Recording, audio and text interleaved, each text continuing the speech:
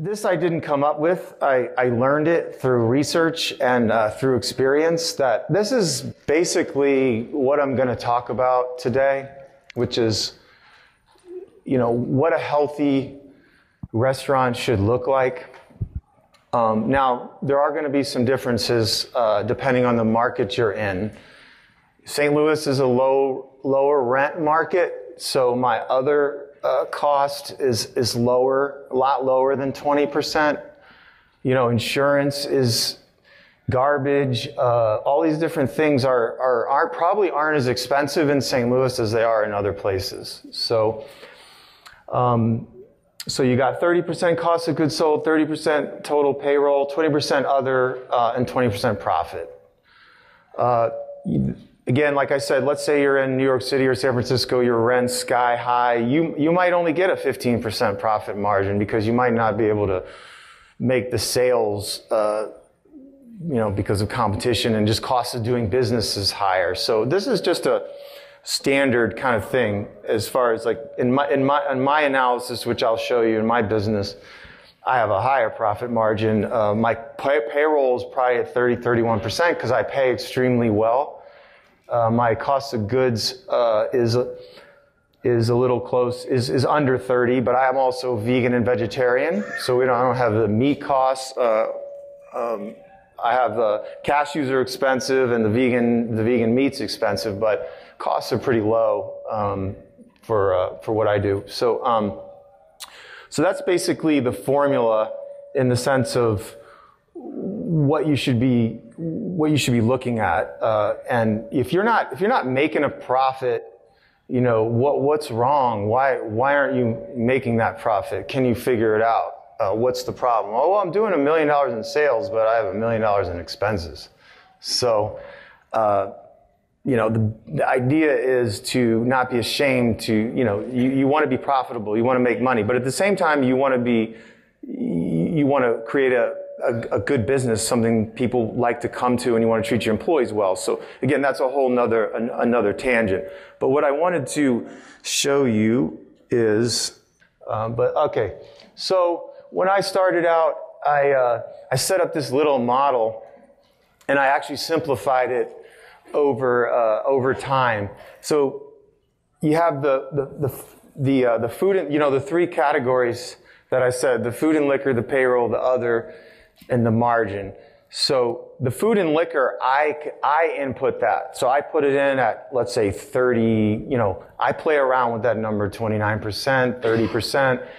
And I always, I'm conservative. So I put 32%, even though my food costs for the year aren't $210,000, but they could be. So uh, I just, I always tend to, to be more conservative. The payroll, my payroll last year was 180,000 uh, although I have up here uh, 204,000 because just in case. So I was conservative in my estimate. Uh, the other, which is down under the fixed expenses, which I'll show you, is 15%. So on a conservative note, my margin should be 22% based on a couple of other things here. So I have the fixed expenses on this side. So I got total rent, I got insurance, I got electric, pest, ice. We don't have an ice maker, so we buy like bags of ice.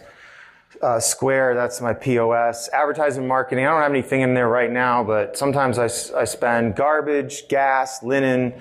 The miscellaneous at $1,500, I just threw that in there because we don't really even, but something could come up that you know, you could have a, a, repair, you could have whatever. So I put that 1500 in there just as a safety.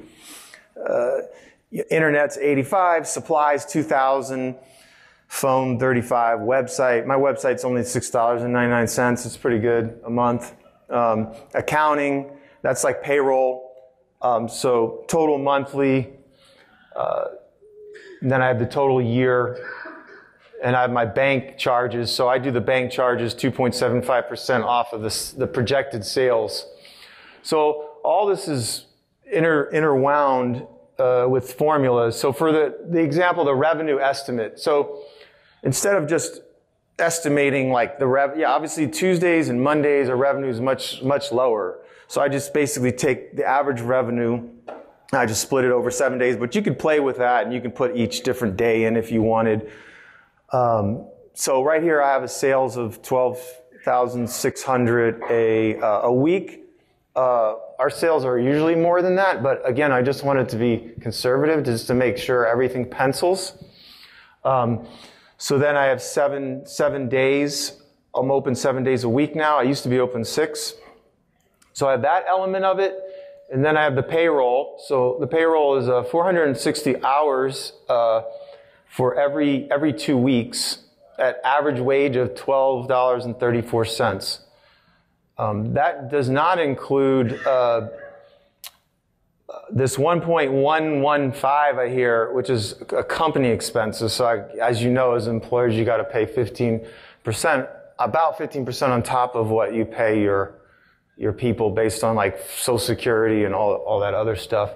So, so I factor that in and uh, 26 pay periods. So payroll, that's how I get my payroll and then my monthly payroll. Then over here I have days.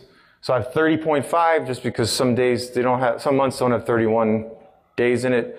Average revenue, monthly revenue, monthly expenses, monthly profit, uh, gross, gross profit. So this is my model, and this is pretty much what I work with.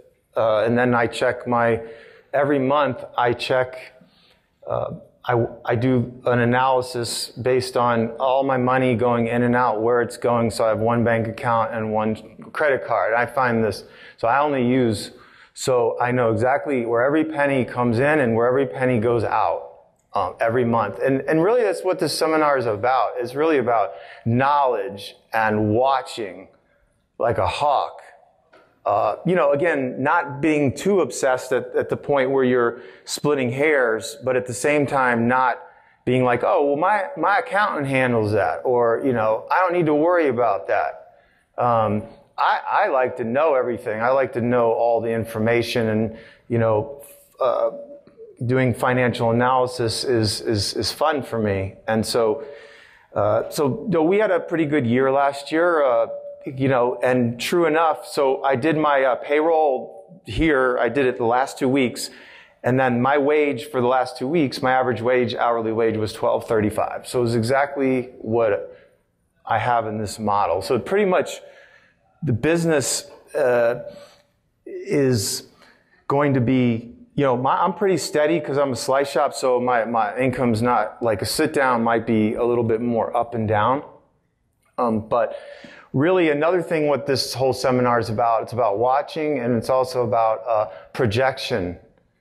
You know, how well you, can you project um, your income, your expenses, and plan ahead. So if you're my football coach used to say, uh, you know, the will to win is not nearly as important as the will to prepare to win. So if you have that will to prepare, then you're going to win. Um, in the sense of this is the approach I take uh, to to the business, and I never uh, take my hands off the wheel. So it's it's it's pretty much. Um, uh, if you're not good at projecting, then you know, all these ratios that are healthy are based on your sales projections. So I'm not here to like tell people how to increase their sales or, or whatever. That's again a whole nother topic. All I'm here right now to do is to say, what is your business doing now? How can you look at, how can you look at your business and where can you find, you know, oh, I didn't know that I'm paying this for this, or I didn't know what my ratio was of, you know, sales to, you know, uh, labor to sales labor to sales ratio. You know, what was it this week? What was it last week? Um, things like that.